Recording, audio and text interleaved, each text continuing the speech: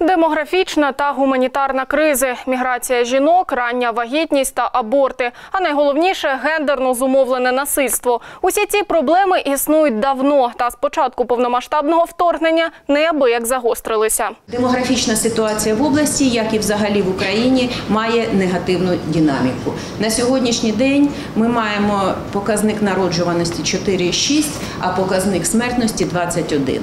У Києві зібралися представники двох урядів японського та українського. А ще наші медики та благодійники обговорювали результати двох проєктів. Їх впровадили в Одеській, Полтавській, Запорізькій та Дніпропетровській областях. Вони про якісну медичну допомогу, боротьбу із насильством і сексуальну освіту.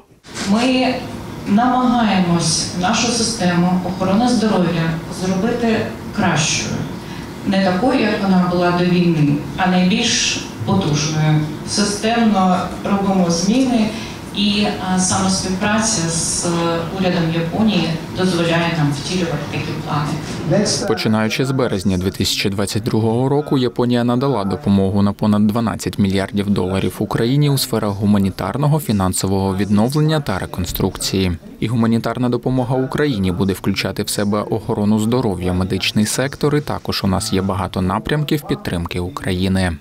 Один із проєктів допоміг вже 65 тисячам жителів Дніпропетровщини. Чотири лікарні отримали ліки та обладнання. Для фахівців провели тренінги, де розказали, як надавати допомогу жертвам сексуального насильства.